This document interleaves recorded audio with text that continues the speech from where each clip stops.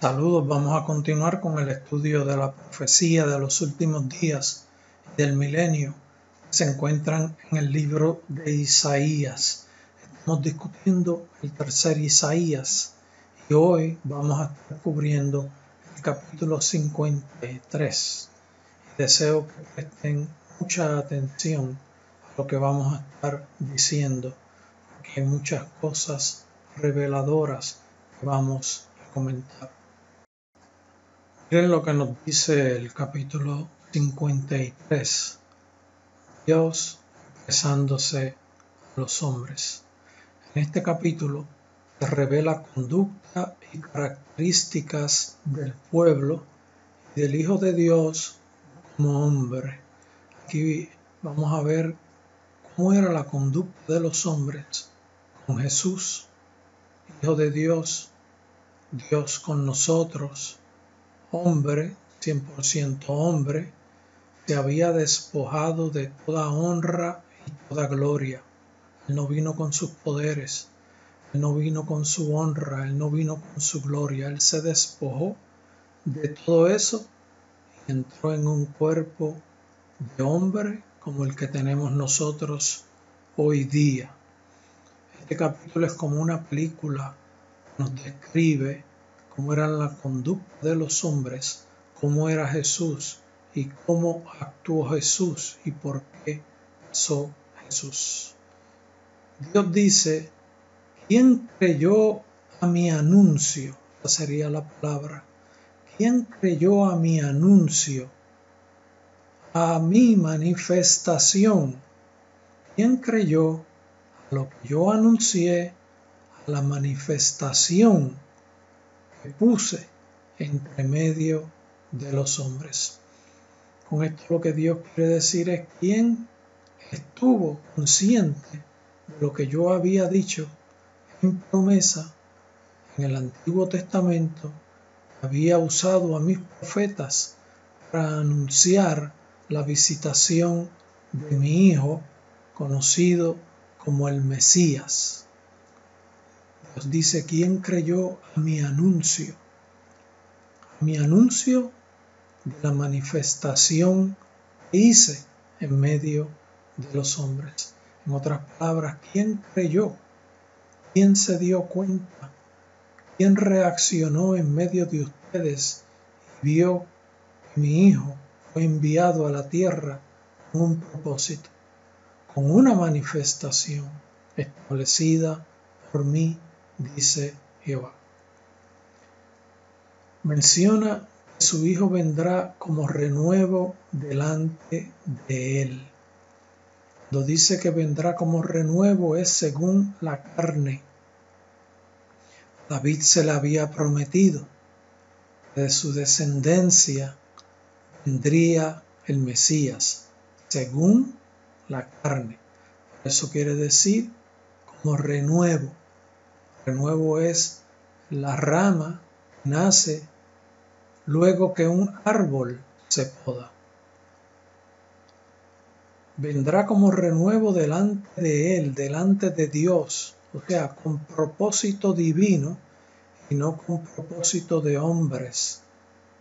Vendrá como renuevo, parte de los hombres, descendiente de los hombres, pero delante de Dios lo que quiere decir es que no venía con naturaleza como la que tenemos nosotros, idéntica a la que tenemos nosotros, porque Él no vino con pecado. Renuevo delante de Dios. Su Hijo, el Hijo de Dios, despojado de toda honra y de toda gloria, vino y habitó en medio de los hombres como hombre. Esto es a lo que se refiere como renuevo. Salió de los hombres, su cuerpo, lo natural. Este renuevo, que es lo natural de los hombres, salió de los hombres. Como dijimos, descendiente de David. Continúa diciendo, sin apariencia atractiva. Jesús cuando estaba en la tierra, en el cuerpo que él tuvo, él no era una persona hermosa, lo está diciendo, sin apariencia atractiva. Usted lo miraba, si usted hubiera estado allí viviendo en aquellos días, usted lo miraba y, no le atraía su físico. Es la realidad, no le atraía su físico. Su físico no era atractivo, ni hermoso hay personas que no son atractivas, pero pues su, físico es más bien llevadero. No era hermoso, no era atractivo ni hermoso. Para que los hombres, los que fueran, no le apreciaran por su hermosura, ni por su belleza, ni por su atracción. Él lo que vino fue a traer otra cosa.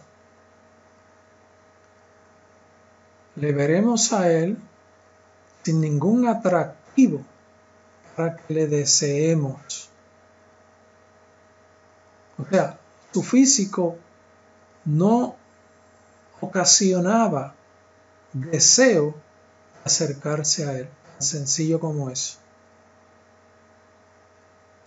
Era una persona bastante común su físico no atraía la atención de las personas. Lo que atraía de él era su conducta. Cuando se evaluaba su conducta y se apreciaba su conducta porque se entendía el valor de su conducta. Eso fue lo que vino a traer. Las enseñanzas tenemos escritas en la Biblia. No veremos en él ningún atractivo para que le deseemos. Escondimos de él el rostro, menospreciándolo sin estimarlo. Esto ya era cuando Jesús estaba comportándose en medio de los hombres, la gente se abochornaba de él tan sencillo como eso. Escondimos de él el rostro. Así hicieron muchos hombres, muchos. Muchos le buscaron por los panes y los peces. Él mismo se los dijo. En un momento dado, vosotros habéis venido, me, me habéis buscado, porque estáis detrás de los panes y los peces. Por eso dice, escondimos de él el rostro, como, como si estuvieran pasando por un lugar por donde estuviera Jesús, volteaban el rostro. Porque no querían que los relacionaran con él. Era cuando ya había persecución en medio de los hombres, por los sacerdotes, por los fariseos, por los saduceos, prácticamente se convirtieron en enemigo número uno, ambos grupos, enemigo número uno de Jesús. la gente, como veían a los líderes, sacerdotes, persiguiendo a Jesús, la mayoría, en un momento dado, se escondían y volteaban su rostro, como negándolo, menospreciándolo, sin estimarlo. Estimaban más a los sacerdotes, a los líderes, a los depuestos, que aquel humilde hombre que vino enseñando las verdades del corazón de Dios. Será despreciado y abandonado por los hombres, lo mismo que hemos estado despreciado, abandonado por los hombres. Despreciado, abandonado por los hombres. No salieron en su defensa. No salieron en su defensa. Lo dejaron solo solo, solo Él sufrió por nuestros pecados. Sufrirá dolores en su alma con mucho quebranto. Sufrió inmensos dolores en su alma, en su espíritu, con mucho quebranto, como partiéndose en pedazos por dentro, por todo lo que confrontó, por todo el rechazo, por todas las injurias, por todos los desprecios, por la soledad en que se encontró, por el abandono que sufrió de todos los hombres a diferentes niveles. No hubo uno solo que se parara a su altura. No hubo uno solo. Continúa diciendo el Señor, llevará nuestras enfermedades y dolores. Esa fue la victoria que alcanzó esa grande promesa de que en el nombre de Jesús guiados por el Espíritu Santo, con fe, alcanzamos sanidad, sanidad corporal y sanidad espiritual, incluyendo los dolores. Hay dolores que son ocasionados por el enemigo de las almas. Ahí se refiere a liberación. En enfermedades también se refiere a liberación. Él llevará nuestras enfermedades y dolores, porque con su victoria en la cruz podemos pedir que seamos sanados en el nombre de Jesús. Dios nos sana. En aquel momento pensábamos, y Dios dice, que pensarían Dios era quien le estaba azotando porque hablaba cosas contrarias, contradictorias con muchas enseñanzas de hombres. En otras palabras, su enseñanza una revolución santa que fue rechazada y fue vista la respuesta a esa conducta de Jesús fue un azote divino de parte de Dios castigándolo. Por eso dice, pensaron que Dios le azotaba y lo abatía. Azotar y abatir son expresiones de castigo azotes físicos.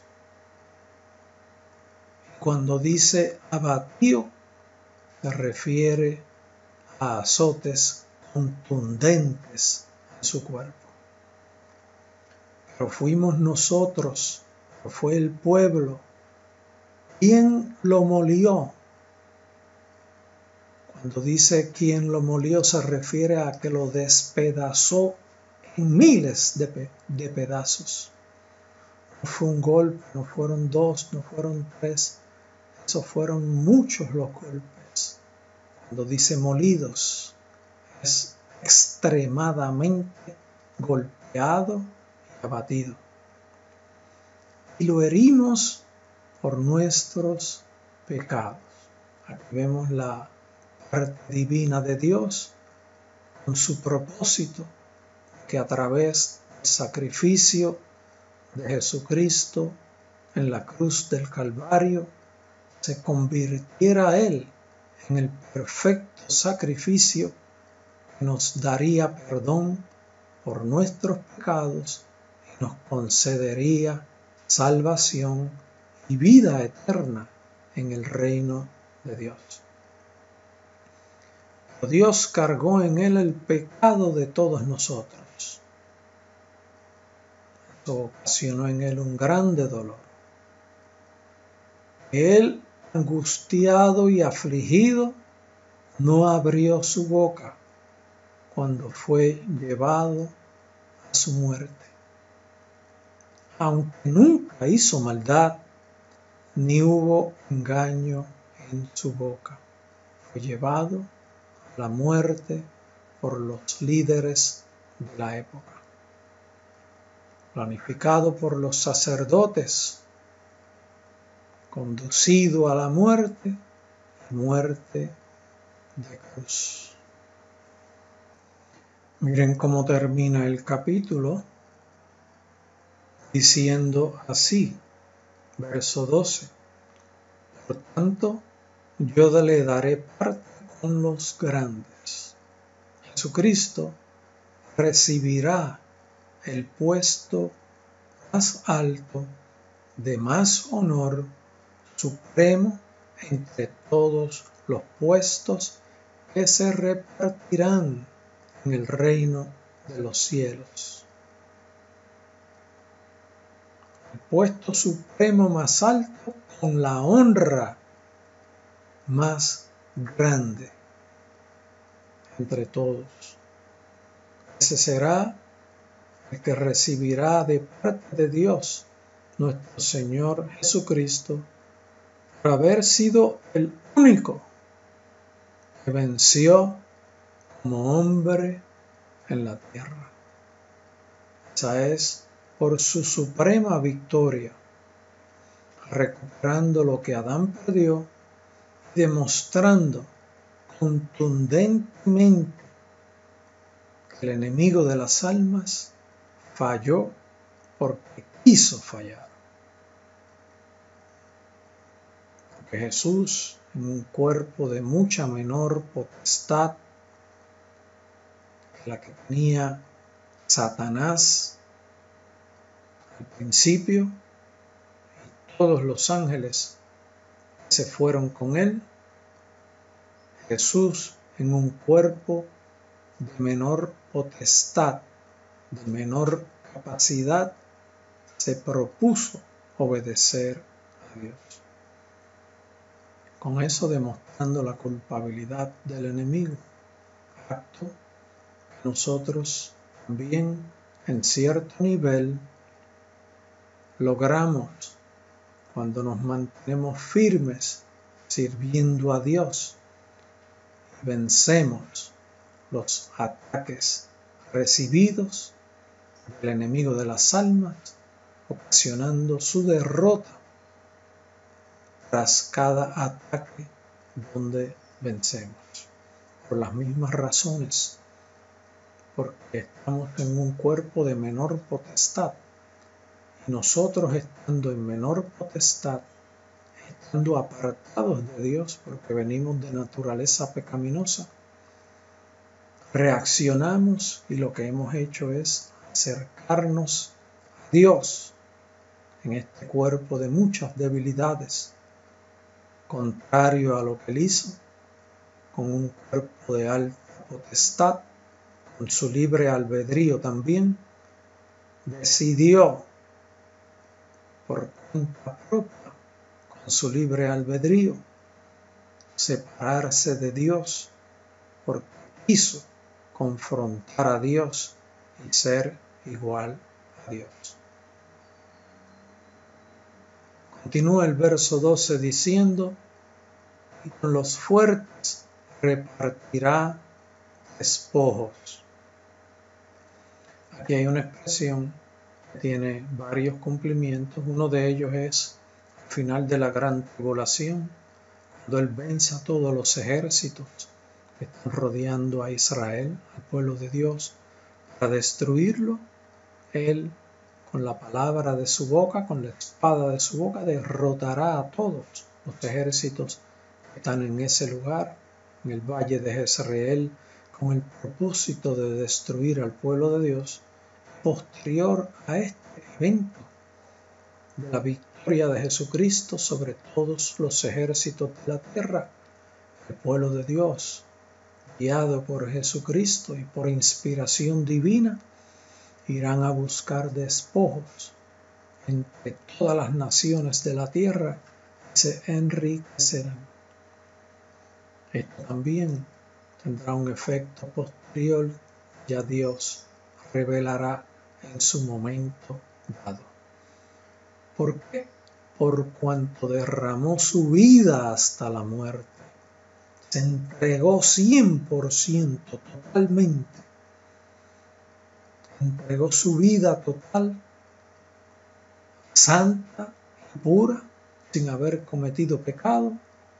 Se entregó en vida y ofreció su vida para rescatarnos de toda maldad, de todo pecado que pudimos haber cometido nosotros, que traíamos de Adán. Y este Jesús, que vivió una vida santa y pura, entregó su vida, fue contado entre los pecadores, habiendo él llevado el pecado de muchos y orado por los transgresores. O sea, él fue contado entre los pecadores, pero él era el que llevaba el pecado. No era pecador. Fue contado entre los pecadores, porque lo mataron como si hubiera cometido pecado en la acusación, en el juicio que le hicieron.